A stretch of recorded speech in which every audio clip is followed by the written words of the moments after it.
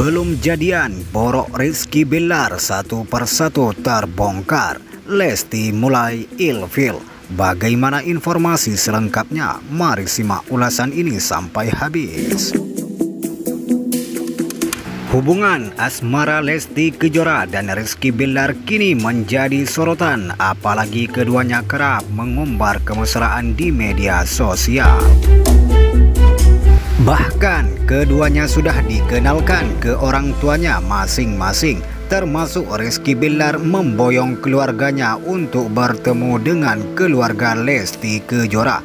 Baru-baru ini Rizky Bilar sempat mengajak Lesti untuk satu mobil bersama kedua orang tuanya saat itu. Sang biduan pun nampak akrab dengan ortunya Bilar. Ditambah lagi ibunya pun begitu antusias memiliki mantu seperti Lesti Kejora. Mereka terlihat sudah lama kenal saat berbincang-bincang di dalam mobil saat itu.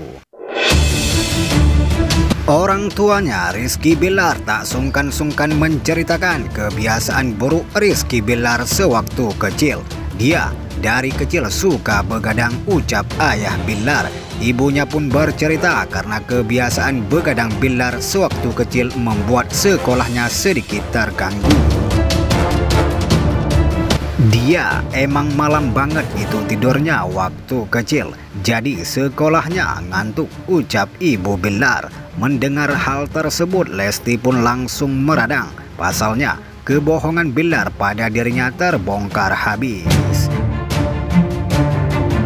Lesti Kejora mengungkapkan bahwa pemain sinetron anak jalanan tersebut mengaku sering begadang pada saat kenal dirinya saja. Katanya suka begadang semenjak kenal dengan Dede. Bohong amat bonga kau celutuk Lesti Kejora. Tak banyak bicara, Bilar pun langsung terdiam karena kebohongan terbongkar. Ya, jawab Bilar singkat. Bilar pun langsung buang muka dan berusaha mengalihkan pembicaraan itu. Lesti Kejora pun tersenyum melihat Bilar yang justru merasa malu karena kebohongannya terbongkar habis. Begitulah informasi yang bisa kami sampaikan dan kami sajikan kepada Leslar dan Lesti Lovers di mana pun berada. Kita doakan sama-sama semoga Rizky Bilar dan Lesti Kejora benar-benar serius hingga hubungan mereka bisa dipersatukan dalam rumah tangga yang bahagia. Jika ada kesalahan, kami minta maaf.